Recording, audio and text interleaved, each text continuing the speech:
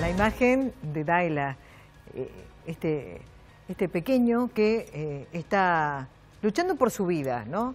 Y que decíamos en el comienzo del programa qué lejos está él y toda su familia de a lo mejor lo que se está hablando por estos días, el tema del dólar, de la disparada, del, del dólar a 47, del dólar a 58. Si lo que está en juego es su salud. Si el problema que tiene esta familia es tratar de que este pequeño de seis años mejore. A veces es bueno mostrar por dónde pasa la vida en estas cuestiones que son, sin lugar a dudas, importantes. Estas son las cosas importantes.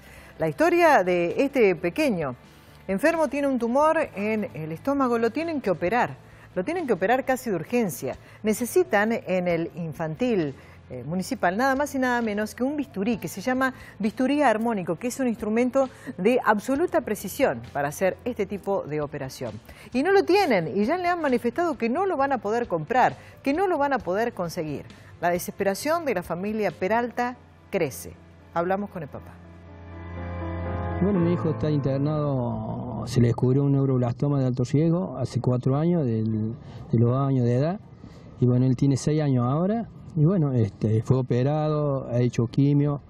Eh, cuando se operó se había curado, a los dos años le volvió la enfermedad, le volvieron a empezar a hacer quimio acá, bueno, las quimios no están dando resultados. Se trata del pequeño Dylan, por quien está luchando su papá, quien se siente agradecido por la calidad profesional de los médicos del hospital infantil, aunque no deja de asegurar que faltan insumos inclusive para la quimioterapia. Eh, tardíamente, porque yo he tenido que ir al hospital oncológico de, que está atrás del hospital de niños a reclamar varias veces porque acá decían que los mandaban y acá en farmacia no llegaban, no estaban los medicamentos, las quimios.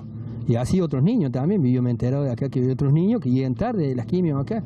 En el caso de su hijito Dylan, la quimio no dio resultado. Los médicos ofrecen una alternativa para lo cual necesitan un bisturí especial que tampoco hay.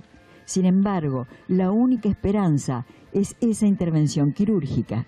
Que la haría el doctor Baez con el grupo de, de, gente de él, y bueno, el cual ha pedido un instrumental, que dentro de ese instrumental está un bisturín armónico, que es lo que yo tengo entendido que me han dicho ellos. Bueno, ese material es el que estoy esperando de la semana pasada, que está pedido. Y ¿Qué se trata ese bisturí? Eh, ese bisturí, a lo que yo tengo entendido, va cortando y va sellando los vasos sanguíneos para que no haya sangrado y corra menos riesgo en la operación, que sea menos riesgosa. ¿Los médicos hablaron de plazo? En esta semana tiene que ser operado, me dijeron a mí. Lo más rápido posible. Porque el tumor, al no responder la quimio, el tumor sigue avanzando, no espera a nadie. La enfermedad de él sigue avanzando y mientras más avance, peor, más riesgoso para su vida. O sea que concretamente este es un pedido a las autoridades ya trascendiendo inclusive la municipal, ¿no? Para que pongan el dinero que hace falta. Sí, a quien sea que le corresponde, a quien le competa, eh, es para él el pedido, por supuesto. Si está en peligro la vida de mi hijo.